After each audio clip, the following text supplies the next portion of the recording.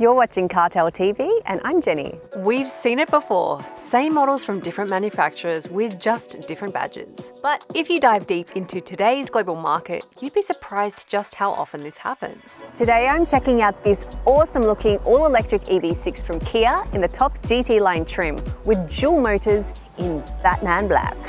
I'm Batman.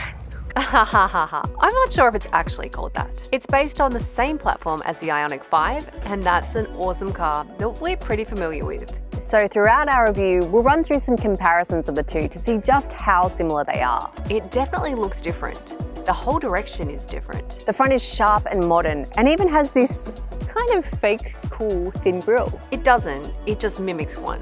But there's actually no holes here. However, it makes the front look more familiar and that definitely helps. And you'd know by now just how much I can't stand those plastic fake EV grills. The LED headlights look sick with this kind of 3D thing they've got going on. And it matches well with the bumper, which is giving me Transformers vibes. This lower section actually opens and closes to help with cooling. So maybe it actually has some street cred to be called a grill. Finally, a functional grill on an EV. Who would have thought? The side looks particularly interesting. The 20-inch machined alloy wheels catch the eye immediately, with the black ascending line that goes from the bottom to the taillights, the bulked-up wheel arch over the rear wheel. I really love how the window shape and the roofline slope combine to look, you know, really stand out, but not be feral. The side also shows the connection with the Ioniq 5. I mean, you can see the overall philosophy is definitely there, although this has that edgier kind of grit. The rear is, well, tell me what you think. There are parts of it that remind me of the outgoing Honda Civic design, and this top spoiler part that flirts with the essence of Porsche, or Porsche for normal people. I mean, it's definitely distinct, and it's kind of like late 80s, early 90s futuristic vibes. I mean, I like it today, but will I like it in six months' time? Let's see. What do you think? At the moment, there are two powering options. A rear-wheel drive version has one motor which produces 168 kilowatts and 350 newton meters. The all-wheel drive version has two motors, and they add up to 239 kilowatts and 605 newton meters of that lovely EV torque. The lesser version is no slouch, reaching 107.3 seconds, but this one is 2.1 seconds faster, so that's a pretty significant difference. Both have the 77.4 kilowatt battery under the floor that weighs almost 480 kilograms. Charging from 10 to 100% with an 11 kilowatt AC charger takes 7 hours and 20 minutes. 50 kilowatt DC charger fills from 10 to 80% in 73 minutes, while the 350 kilowatt DC charger does the same thing in just 18 minutes. Lastly, the official range of the rear-wheel drive models is between 504 and 528 kilometers, while the all-wheel drive one covers 484 kilometers. I mean, that's a little optimistic, but realistically, you should get about 400 kilometers from this. I mean, that's plenty for every day and especially good around the city. However, the numbers mentioned a minute ago do not do this car justice. We mentioned just how different torque from electric motors feels due to its ever-present nature. It feels punchy and ready to pounce at any moment. Similarly, having two electric motors in this version, one for each axle, really does wonders for the amount of grip. However, you do feel the weight. It's not immense, but both versions are over 2,000 kilograms, so it is noticeable. The good side is that almost a quarter of that weight is in the battery, which is under the floor, so the center of gravity is really low. Now that is very nice. The EV6 does not feel like a boat on the waves but you definitely feel the weight during more spirited turns, even more emphasised by that amazing grip. Expectedly, there are a few regen braking modes, the strongest of which actually stops the car completely. It's great in the city, you just have to get used to the response and then you can use one pedal for driving in the city. The car feels significantly different to drive in different driving modes. They are called Eco, Normal and Sport. And normal mode is by no means restrictive. The EV6 has really good pickup. The power delivery is linear and in practical terms, you will rarely need anything more. It will try to get you the most out of the battery, but without dulling the edge too much. Sport puts the EV6 on roids, completely ignoring efficiency. It just gives all there is to give in terms of throttle response and power delivery. Now honestly, I'd only really use it for pretty sporty conditions, or if you want to give your passengers a bit of a thrill. Normal is more than enough for 99% of your sporty needs. Moreover, while this is currently the most powerful option, the EV6 will have an even more hardcore one. Now remember that this is the GT line version. If they decide to bring out a GT full version, that'll give you even more.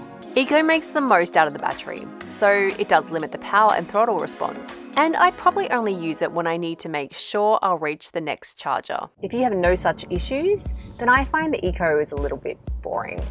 But it's great if you do need to save on range. It's important to note that this car has single speed transmission and no adaptive dampers. In terms of driving, the different modes adjust the steering feel and power delivery, and that's it. In terms of comfort, the EV6 gets a special Aussie suspension tune, and it shows. In fact, the Ioniq 5 will also get a suspension revision to get it closer to this one. Now, this should tell you that this would be the more comfortable of the two options in Australia, at least until the Ioniq 5 update comes out. The interior looks a bit quirky as well, but it's also very practical.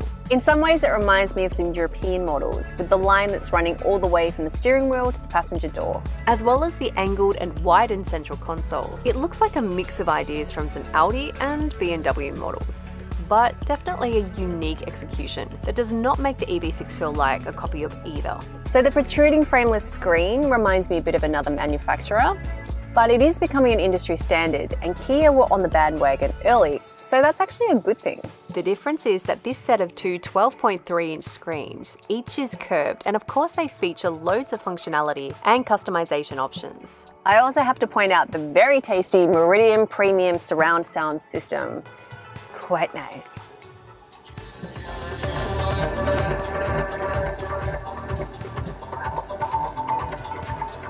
Also, the augmented reality heads up display is so cool.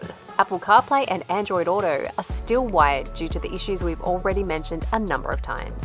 It's not much of a practical issue, honestly, but I do hope that they fix it soon.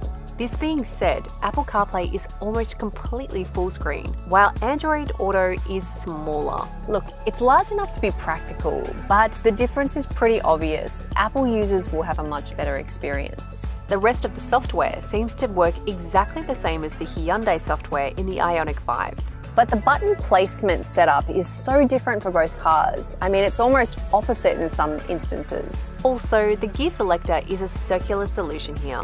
But on the Ioniq 5, it sits behind the steering wheel. They really paid attention to details, and it's a mix of those small things that make a big difference in the way a car feels on the inside. A lot of attention has also been paid to the eco side, with vegan leather on the seats and some really cool top-notch recycled materials materials used in the interior. Now, while I like the interior design, it really feels premium and looks awesome. I have to say that the pure focus on interior space and functionality in the Ioniq 5 for me might just push it ahead a little bit. Not so much in terms of looks, but it is just such a unique proposal that I believe the EV6 would also benefit from this approach. Now, on the other hand, I can see that they can cover more of the market space with both options. Storage is ample. There are four cup holders, four bottle holders, one in each door, mat pockets, glove box, this storage box in the center console, as well as this separate tray. So under this central section, you have this huge space here where you could fit most moderately sized ladies' handbags. But I do like the sliding solution in the Ioniq 5, I have to say. There's also loads of space in the back. Legroom is huge, headroom is pretty good, and even the passenger in the middle will not be completely left out. The one thing that's not so great back here is the knee angle. I mean, I know the batteries are down there, but yeah, it's not great. Now my other personal pet peeve is this plastic enormity on the back of the seats. And I don't know if this is a handle. Practically, yeah, it's kind of good, but it's just awful. Like, come on, guys. No, you can do better. So much better. The rear gets the standard storage and armrest amenities, as well as two additional USB-C ports on the sides of the front seats. The boot has 531 litres of space with a slightly elevated floor, once again as expected for a vehicle like the EV6. Fold the seats and you get 1,591 litres of space, and the floor is almost completely flat. It's really such a big and practical boot space, and it has a low load lip and really wide opening. I mean, it's fantastic, especially for suitcases. I also like the separate compartment below to store cables in. There's also the front or the front boot, which is pretty small in both instances, but especially in this one because it also has the front motor. It gives just 24 litres of space, not really much use, but I guess it's better than nothing. Expectedly, safety is certainly not lacking.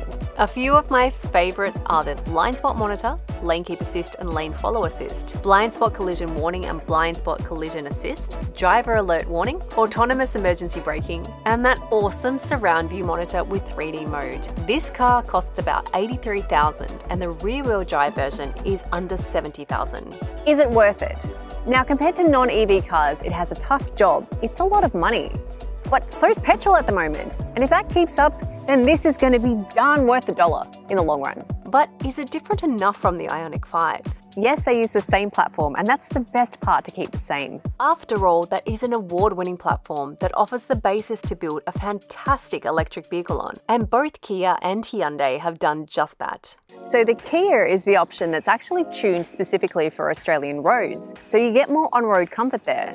So, that's good. But in terms of the exterior and exterior design, they do feel very different. I like them both, and where the Kia feels sportier in terms of looks and layout, the Ioniq 5 feels more elegant and a little more futuristic.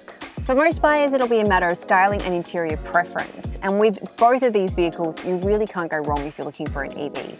The biggest issue right now is availability. Thanks again for watching CarTell TV. So, which would you pick out of these two? And if not one of these, have you got another EV that you have in mind? And considering the current petrol prices, are you maybe looking at an EV now when you thought, well, maybe I wouldn't look for one for no, you know, two years or so? Let us know, people. There's a lot going on. Leave your comments below. We love to read them, and we'll see you in the next review.